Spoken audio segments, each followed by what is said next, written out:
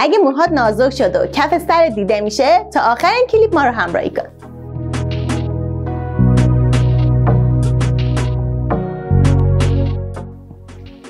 خانم ها و آقایانی که موهاشون کم شده و کف سرشون دیده میشه توی مهمونی ها و توی جامعه پیشنهادات مختلفی بهشون میشه. مثل micro scalp کاشت مو و پروتز مو توی کلیپ های قبلی اطلاعات کامل در مورد پروتز مو و کاشت مو بهتون دادم.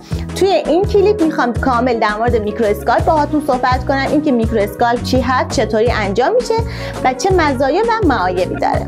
خب micro scalp همون هاشور یا تتوی کف سر هستش که جوهرها به همراه سوزنهای خیلی نازک زیر پوست وارد میشن. معمولا ورود سوزن یه درد مختصری داره که معمولا تکنسیان ها از بی‌حسی موضعی استفاده می‌کنن.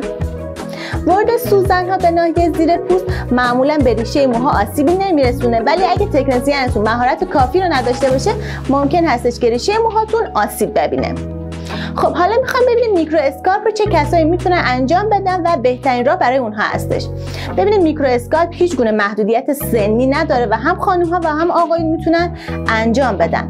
ولی کسایی که کاندید مناسبی برای کاشت مو نیستن می‌تونن micro scalp رو انجام بدن و بهترین نتیجه رو ازش بگیرن.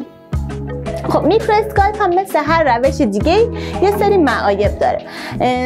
سه تا از مهمترین معایب اون رو می‌خوام کامل براتون توضیح بدم. اولین معایبش که گزارش شده این هستش که تعداد زیادی از افراد به اون جوهری که وارد پوست میشه حساسیت نشون میدن و پوستشون ملتهب و قرمز میشه. دومین معایب گزارش شده این هستش که پوست سر بعد از میکرو اسکالپ پوست پوسته میشه و روی سر شوره ایجاد میشه. و سومین گزینه این هستش که میکرو اسکالپ جزء روش های دائمی محسوب نمیشه و یک روش کاملا موقتی هستش. جوهری که زیر پوست وارد میشه به مرور زمان کم رنگ میشه و نیاز هستش که بعد از مدتی شما دوباره اون رو تکرار کنید. امیدوارم اطلاعات این کلیپ براتون مناسب باشه و تونسته باشین با اطلاعاتی که در اختیارتون قرار میدیم بتونید یک انتخاب درست رو انجام بدید.